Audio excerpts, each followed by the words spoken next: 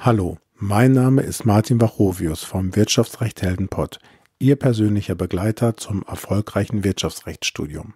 Hier erfahren Sie alles, was Sie für ein erfolgreiches Wirtschaftsrechtsstudium brauchen. Von mir bekommen Sie immer die richtigen Tipps.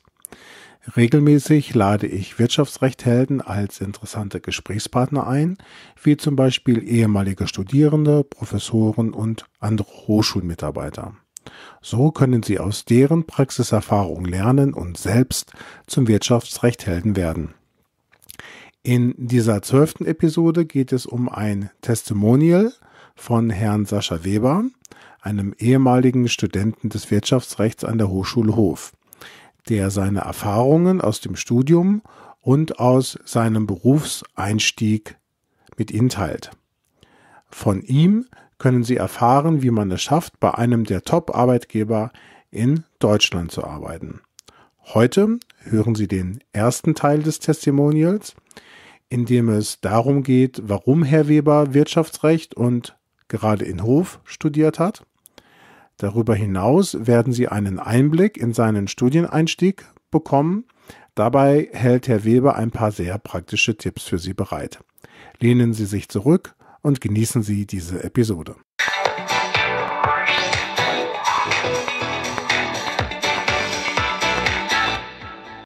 Ja, ich freue mich, dass Sie heute wieder eingeschaltet haben beim Podcast Wirtschaftsrecht Helden. Ich freue mich ganz besonders, dass ich heute einen ehemaligen Studierenden bei mir habe. Das ist Herr Sascha Weber. Herr Weber, schön, dass Sie da sind. Hallo, Herr Professor Wachovius. Vielen Dank für die Einladung, dass ich auch heute mal ähm, in Ihren Wirtschaftsrecht-Helden-Podcast teilnehmen darf. Wie gesagt, als ehemaliger Student der Hochschule Hof freut mich das sehr. Prima. Mich freut es auch sehr, denn es ist ja gerade für unsere Zuhörer wichtig, mal zu wissen, wie man aus Sicht eines ehemaligen Studierenden im Nachhinein äh, den, das Studium bewertet, den Studiengang Wirtschaftsrecht und was das vielleicht auch so für den eigenen Berufsweg auch gebracht hat. Ja, ähm, ich, ich könnte sie jetzt lang und breit vorstellen. Ich mache es ein bisschen und Sie ergänzen dann mal noch äh, Punkte, die ich ähm, vergessen haben sollte. Ja, also ähm, Herr Sascha Weber war Student des Wirtschaftsrechts bei uns an der Hochschule Hof und zwar von, äh, vom Wintersemester 2012 bis zum März 2016 und hat da sein Studium erfolgreich mit dem Bachelor of Law abgeschlossen.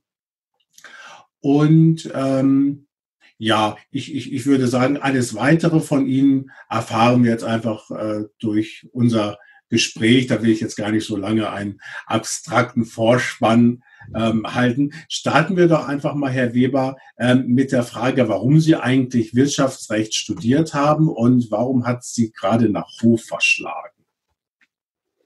Also, wie gesagt, die, die erste Frage mal vorab, warum Wirtschaftsrecht? Ähm, ich hatte da, war vorher auf der Fachoberschule in Fürth und hatte da ähm, das Fach Rechtslehre und hatte dazu den Kontakt oder die Berührungspunkte zu dem Studium Recht an sich mal so. Und das hat mir großen Spaß gemacht, ein bisschen so im BGB blättern und dann ähm, ein paar Fälle lösen und so ein hoffentlich guten Ergebnis zu kommen.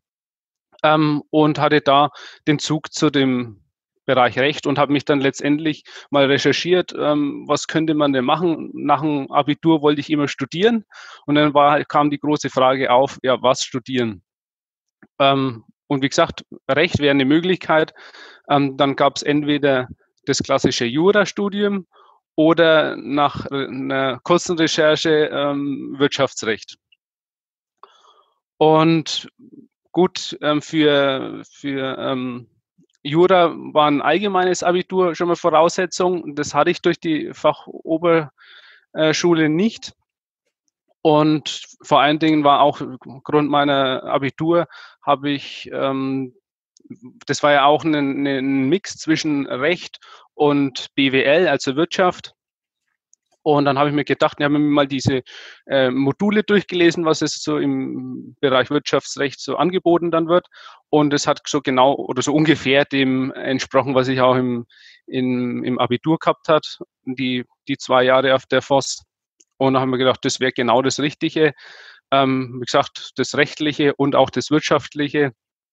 Ähm, das könnte eine, eine gute Mischung aus beiden sein. Genau. Und deshalb habe ich mich für, für Wirtschaftsrecht entschieden.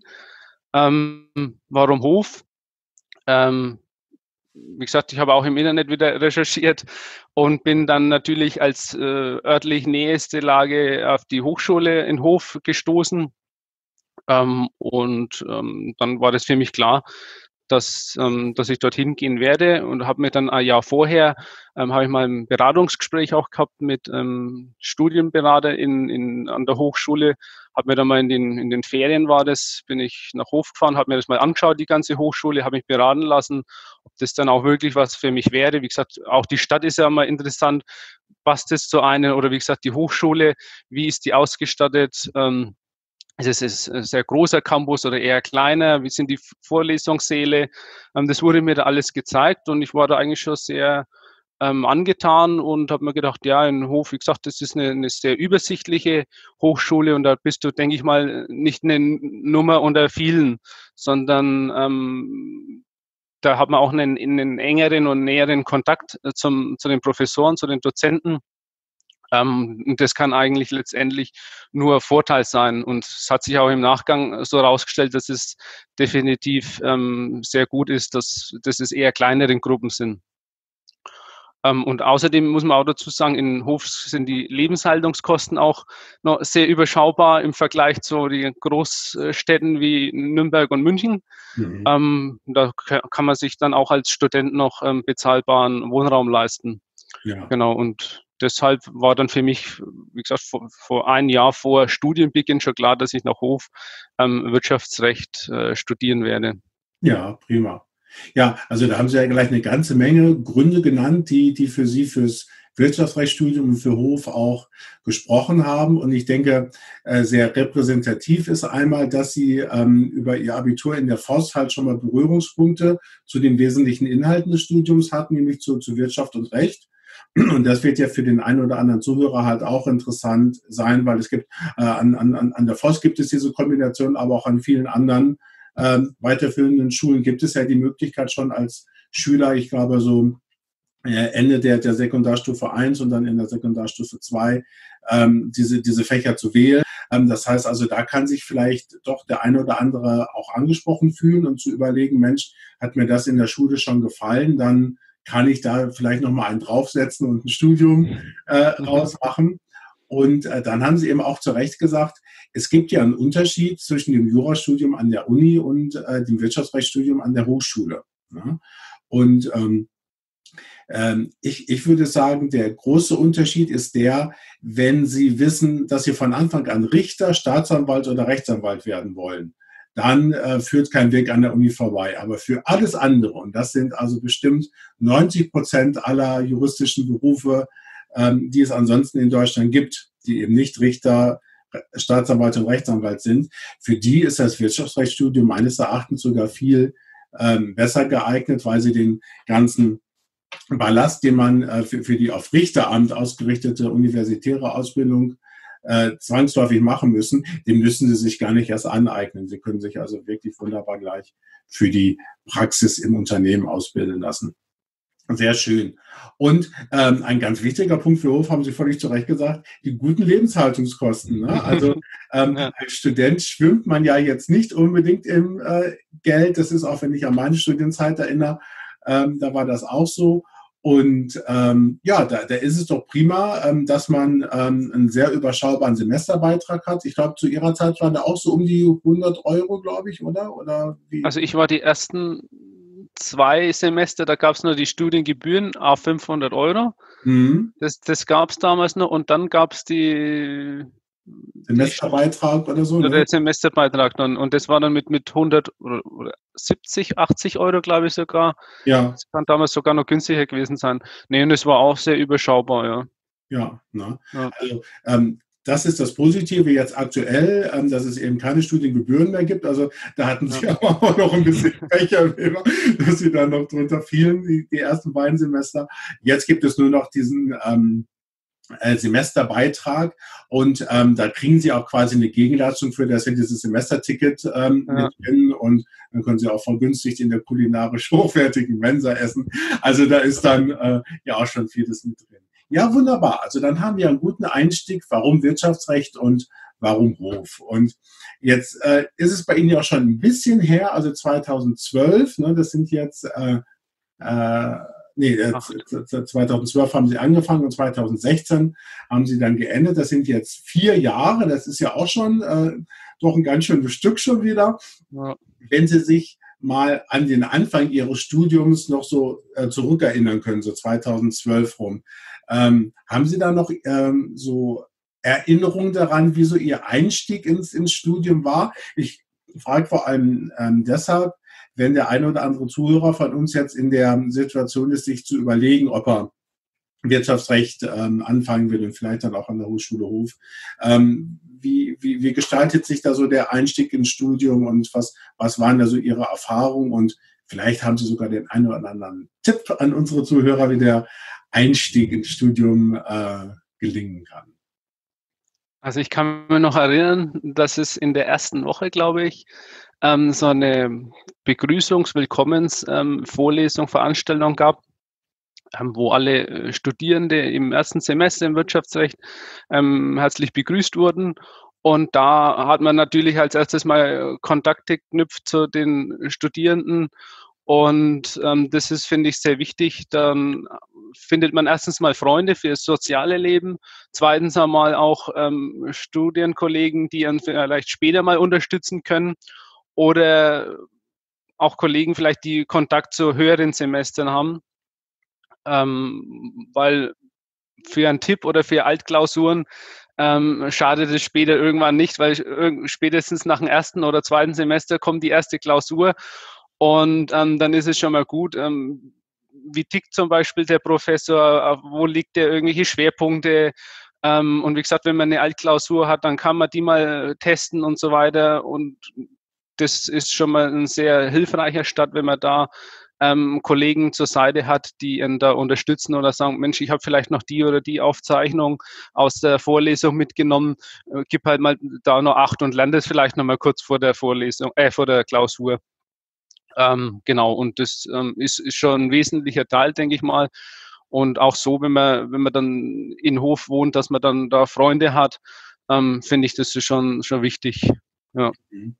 Ja, ja, also das, das ist sicherlich ähm, sehr hilfreich und auch gerade der, der Tipp eben äh, neben dem ähm, sozialen, also der sozialen äh, Anhang äh, zu finden, ist natürlich eben auch ganz gut von höheren Semestern so ein paar Tipps ähm, zu bekommen und ähm, vielleicht auch mal, wenn, wenn man noch mal Fragen hat und man traut sich dann irgendwie nicht in der Vorlesung irgendwie was zu fragen, wenn man dann noch mal äh, einen aus dem höheren Semester hat und sagt, wie, wie war denn das?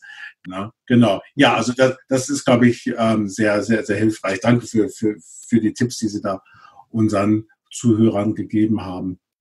Gab es denn vielleicht irgendwie ähm, auch mal Hindernisse im, im Studium? Also wenn, wenn, wenn ich zum Beispiel dran denke, äh, als, als ich studiert habe, da, da weiß ich, ähm, im, im ersten Semester habe ich gedacht, so arg wird schon nicht sein, da musst du dich noch nicht so richtig hintersetzen.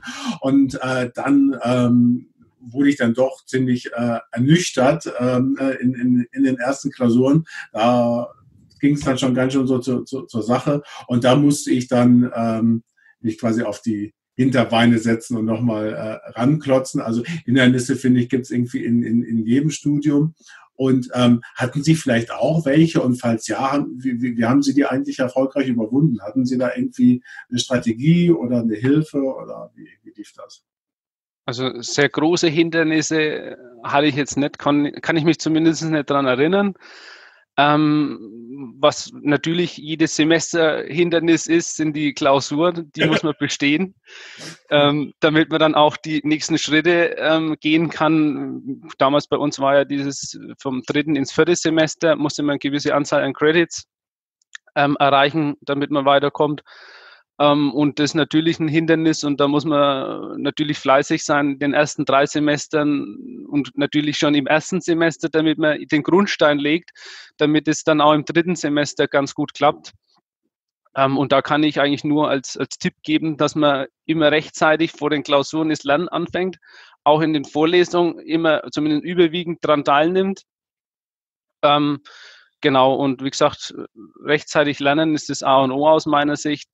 Und ähm, mein Erfolgsrezept, mein persönliches, war auch, dass, dass ich jetzt ähm, nie irgendeine Klausur geschoben habe. Weil ich habe mir gesagt, naja, wenn man es schiebt, okay, es könnte aber sein, dass ich irgendeine Klausur mal nicht bestehe und das ist ganz legitim. Mhm. Und ich hab, wir haben immer gesagt, dass auch die anderen Kommilitonen, wer schiebt und vielleicht eine Prüfung nicht besteht, das ähm, könnte dann schon schwierig werden. Das, das kommt man dann irgendwann mal in Schlingen vielleicht und schafft dann letztendlich diese erforderlichen Credits nicht. Und ähm, ja, da gab es dann so unter den Kommilitonen so, so einen berühmten Satz, wer schiebt, der fliegt. Ja. und das hat sich eigentlich ganz gut eingebrannt und das kann ich ja als, als Tipp weitergeben. Ja. ja. Ja, sehr schön. Vielleicht so als, als, als Hintergrund für, für, für die Zuhörer. Äh, im, Im Wirtschaftsrechtsstudium ist es so, dass sie zwischen dem dritten und dem äh, vierten Semester äh, eine sogenannte Vorrückungshürde haben. Das heißt also, wenn, wenn Sie in den ersten drei Semestern nicht ausreichend viele Klausuren bestehen, haben Sie da nicht so viele Punkte gesammelt, dass Sie ins vierte Semester ähm, äh, fortrücken können. Und dann haben sie in der Tat das Problem, wer schiebt, der fliegt. Also das da ist dann wirklich sehr, sehr, sehr viel auf einmal für sie wird. Und dann sitzen sie nicht mehr mit ihren Kommilitonen äh, in den Vorlesungen, sondern müssen dann ähm, die, die, die Vorlesung dann mit ähm, äh, anderen äh, jüngeren Semestern belegen. Ähm, deswegen, also das, das ist auch mein, äh, äh meine Empfehlung, äh, insofern Wasser auf meine Mühlen, was Sie gesagt haben, Herr Weber. Ähm, schon, schon wirklich versuchen, äh, die Klausuren mitzuschreiben, wenn sie angeboten werden, weil das ist schon eigentlich so gelegt, dass sie damit ähm, eigentlich durch, durch, durch Studium kommen. Also ohne, ohne, ohne Fleiß kein Preis, also geschenkt wird nichts, aber äh, sie müssen quasi, ähm, äh, wenn, wenn sie äh, die Klausuren, die man ihnen anbietet, in dem Zeitraum schreiben, dann ähm, ist das Studium auch äh, in, in, in dieser Regelstudienzeit und so weiter also auch wirklich gut, gut machbar. So, da sind wir schon am Ende dieser Episode angekommen, weil das Interview mit Herrn Weber so viel Interessantes für Sie ergeben hat, habe ich mich entschieden, das Interview auf mehrere Episoden aufzuteilen. Alle wichtigen Informationen zu dieser Episode finden Sie wie immer in den Show Notes zu dieser Episode und im Blog unter www.wirtschaftsrecht-helden.de. Schauen Sie doch gleich mal vorbei. Dort erfahren Sie auch, welche neuen maßgeschneiderten Bücher aus der Reihe Wirtschaftsrecht Helden erschienen sind, um Ihnen auf Ihrem Weg zum Wirtschaftsrecht Helden zu helfen. Bis zur nächsten Episode, Ihr Martin Wachrovius.